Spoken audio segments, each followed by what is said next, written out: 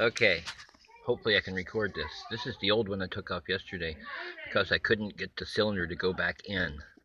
So I disconnected the upper pipe up here. I couldn't get it off the back of this either. And then the problem is you, there's little clips here. You got to pull those out with some pliers or some screwdrivers and get in.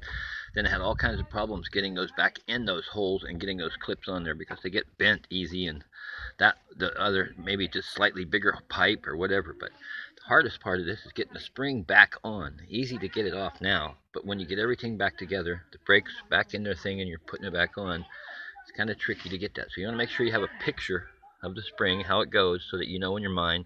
I usually just take one side off at a time. Take deep breath. Now, going back step, you may need a, a key to, to get your alloys off. So if you do that, that's what you're looking for, some sort of key to get that off. And that's usually in the glove box. You need to find that if you don't have know where it is. So that's about it. You need a little brake pad tool, a brake tool. This is just takes these screws out that are up here, this place right here. And then you got to slide the bolt back so you can get this off. It needs to be flush.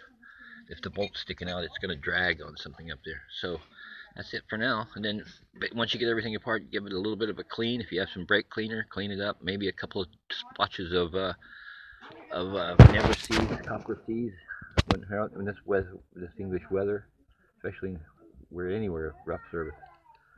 Okay, talking crap now. See you later.